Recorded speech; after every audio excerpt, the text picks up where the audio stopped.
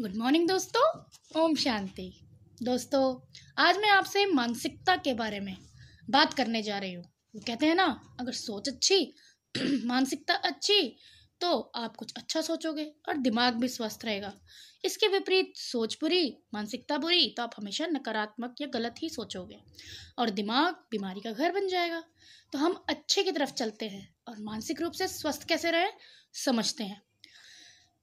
दोस्तों, एक दुखद केस के माध्यम से बताना चाहूँगी कि मानसिक रूप से स्वस्थ रहना कितना ज़रूरी है और रहने के लिए उपाय क्या हो सकते हैं, वो भी बताऊँगी। दोस्तों, ये हादसा किसी के साथ भी हो सकता है। अठारह लाख का पैकेज, यानी डेढ़ लाख महीना, दोनों बच्चे डीपीएस से पढ़ते थे। ये केस इंदौर के सॉफ्टवेयर इंजीनियर के साथ घटित घटना है। वर्क फ्रॉम होम की सुविधा थी तो काम के साथ शेयर बाज़ार में भी ट्रेडिंग का धंधा कर रहे थे। पिछले महीने नौकरी गई और इस महीने पूरी परिवार की खुदकुशी। जबकि माँ को पेंशन मिलती थी, ससुराल वालों की भी आर्थिक स्थिति अच्छी थी। तो भी उन्होंने टेंशन में आकर नकारात्मक सोच अपनाकर खुदकुशी कर ली, क्योंकि उनकी किसी वजह से नौकरी छूट गई। घाटा हो गया उनके शेयर मार्केट में डाउननेस हो गई। और साथ के साथ जब नकारात्मक सोच आ जाती है तो नौकरी भी छूट जाती है। जब से ये खबर मैंने पढ़ी, मन व्यथित है।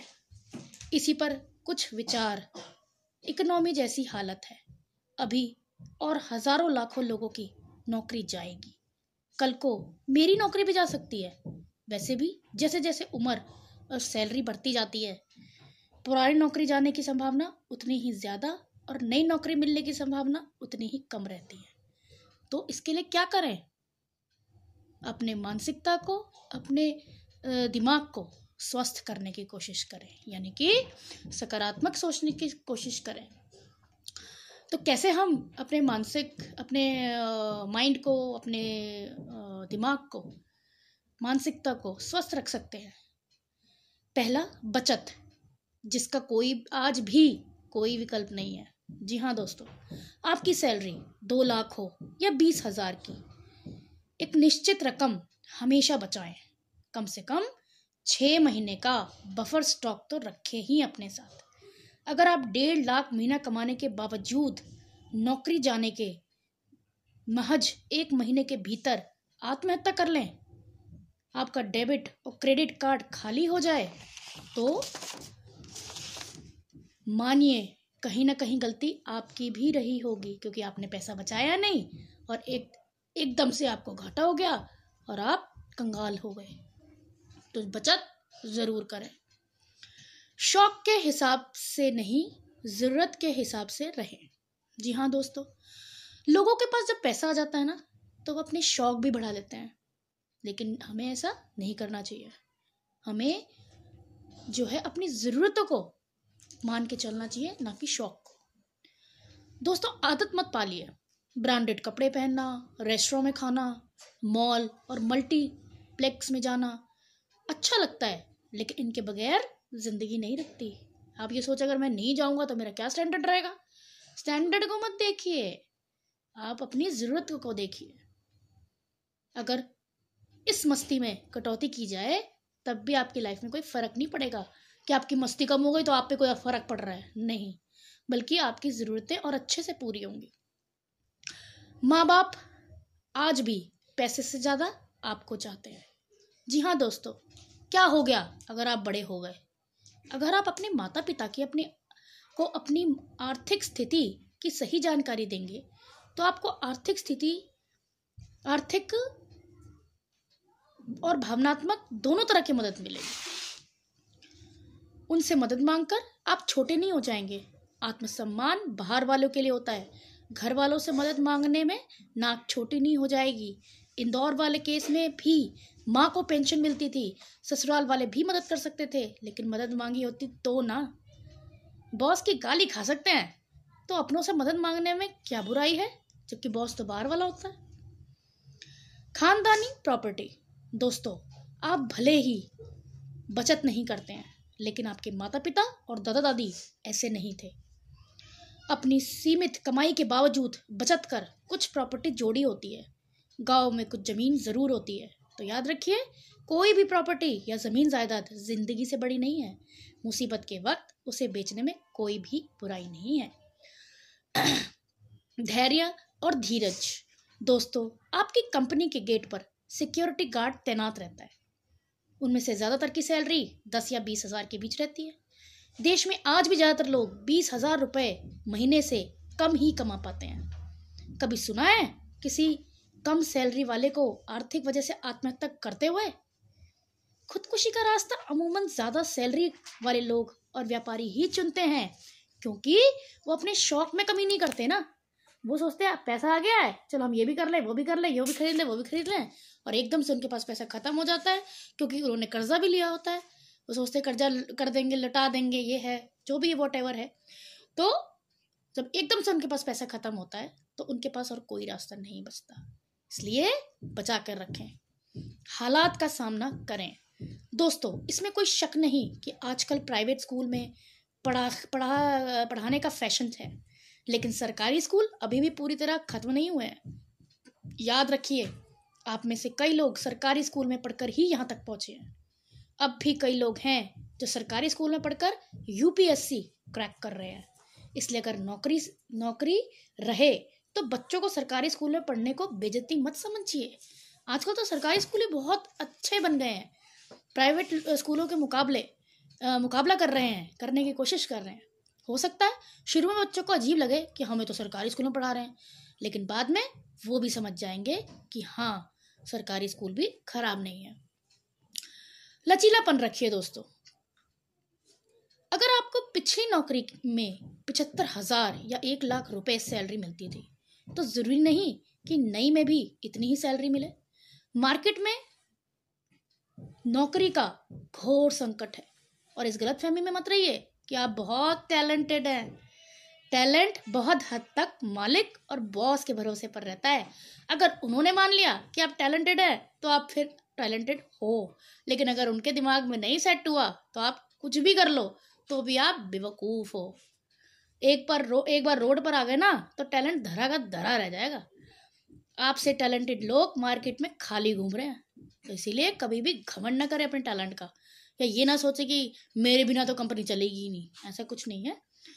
बस अपने अंदर लचीला बन रखिए कि मैं कम में भी काम कर सकता हूँ। क्योंकि तभी आपको एक्सपीरियंस भी मिलेगा, अनुभव भी मिलेगा और साथ के साथ प्रेज भी मिलेगी। असफलता का स्वाद। दोस्तों, यह एक बहुत ही महत्वपूर्ण विषय है। इसको हम सभी को पूरा करना चाहिए। हमारे जीवन में सफलता का जितना महत्व है ना, उतना ही असफलता का भी होना चाहिए। हमें अपने आप को, बच्चों को, परिवार को ये बताना चाहिए कि हमें किसी भी कार्य में परीक्षा में बिज़नेस में, खेल में, कृषि में असफलता भी मिल सकती है। ज़रूरी नहीं है, सफलता ही सफलता मिलती रहे। तो असफलता का स्वाद हमें, हमारे बच्चों को बचपन में ही सिखा देना चाहिए। अगर आप बच्चे के साथ कोई गेम खेल रहे हैं, कुश्ती लड़ रहे हैं तो उस गेम में हमेशा उसको जिताना नहीं है। उसे हराए भी एक दो बार और उसे हार का सामना करना भी सिखाएँ। चाहे वो रोए कि मैं, मुझे हरा दिया और मैं तो जीतूँगा, मैं कुछ जिताओ। नहीं, उसको ये भी सिखाओ कि हार भी हो सकती है, असफलता भी मिल सकती है, लेकिन उस असफलता और हार से कैसे बाहर निकलना है, वो भी सिखाएँ। उसे बताएँ कि सिक्के के दो पहलू होते हैं, कभी एक ऊपर रहता है तो कभी दूसरा ऊपर रहता है। अर्थात, समय हमेशा एक सा नहीं रहता। आखिरी बात, जहाँ से शुरू किया था, वहीं पर ख़त्म कर रही हूँ। खुदकुशी किसी भी हालात में कोई विकल्प नहीं है। हर रात के बाद एक नई सुबह होती है। हर सुख के बाद दुख और दुख के बाद हमेशा सुख आता है। धैर्य बनाए रखें और ऊपर वाले पर विश्वास रखें। सब कुछ आसान है अगर ठान लिया जाए। मानसिक रूप से मज़बूत बनते हुए आइए सुनते हैं दस विचार। पैसा जितना ज़्यादा आता है, ज़िंदगी की जंग लड़ने की ताकत उसी अनुपात में कम होती जाती है। पैसा कमाएँ, लेकिन जीवटता को भी ज़िंदा रखिए। इमरजेंसी में काम आएगी। किसी ने हमें डांटा, कितनी देर में मन ठीक होगा? ये निर्भर करता है किस पर? किसने डांटा? क्यों डांटा? कैसे और कितना डांटा?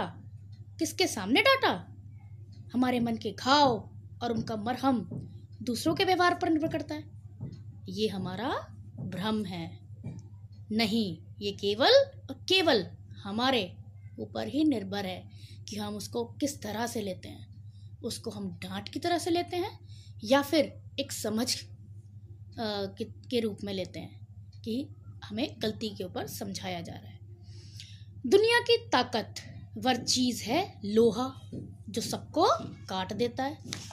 लोहे से ताकतवर है आग जो लोहे को पिघला देती है।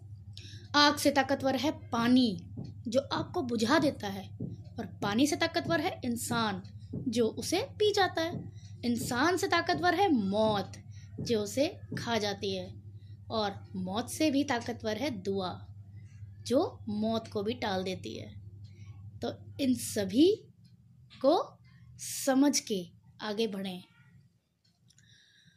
हर माता पिता माता पिता ये सोचते हैं, मैं अपने बच्चों को वह दूँ जो मुझे नहीं मिला।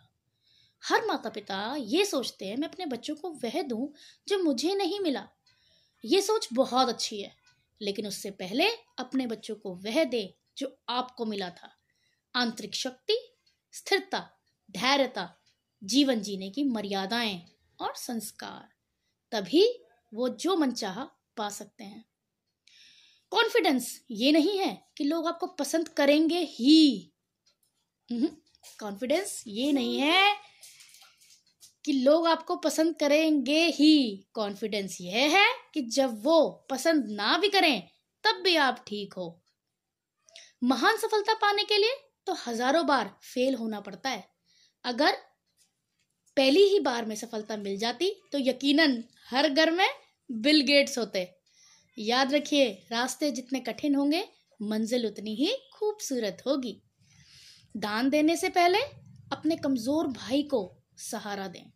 दान देने से पहले अपने कमज़ोर भाई को सहारा दें, क्योंकि आपके दान को, आपके दान की ईश्वर से ज़्यादा आपके भाई को ज़रूरत है। अच्छे लोगों की इज़्ज़त कभी कम नहीं होती। अच्छे लोगों की किस्मत कभी, अच्छे लोगों की इज़्ज़त कभी कम नहीं होती। सोने के सौ टुकड़े भी करोगे ना, फिर भी कीमत कम नहीं होती। इंसान तब समझदार नहीं होता जब वह बड़ी बड़ी बातें करने लगता है, बल्कि वह समझदार तब कहलाता है जब वह छोटी छोटी बातें समझने लगता है। भरोसा खुद पर रखें तो ताकत बन जाता है। भरोसा खुद पर रखें तो ताकत बन जाता है और दूसरों पर रखें तो कमज़ोरी बन जाती है दोस्तों। इसलिए हमेशा पहले खुद पे भरोसा करें। अगर आप खुद पे भरोसा करते हो तो यकीनन आप दूसरे पर भी उतना ही भरोसा कर सकोगे। आज के लिए इतना। थैंक यू दोस्तों। ओम शांति।